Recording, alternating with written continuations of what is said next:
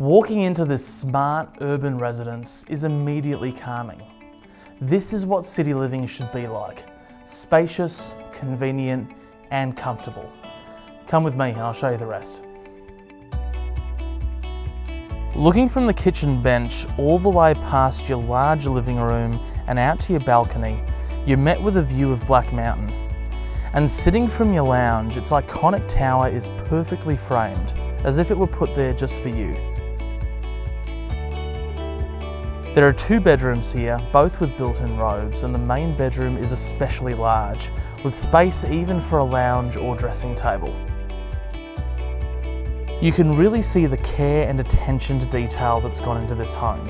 So the only thing you need to worry about when you get here is where to put your bags and where you're going for dinner.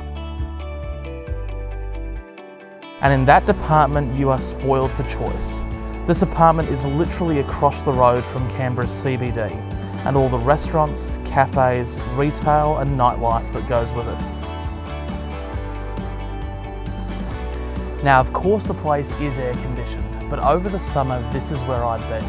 Taking a dip in one of the two pools, having a barbecue with friends or family, or maybe a bit of both. The point is, this is a great location to live, work, and entertain. And being in such a popular spot makes it a really smart investment choice as well. So come along to our next open house or call me to book your private inspection.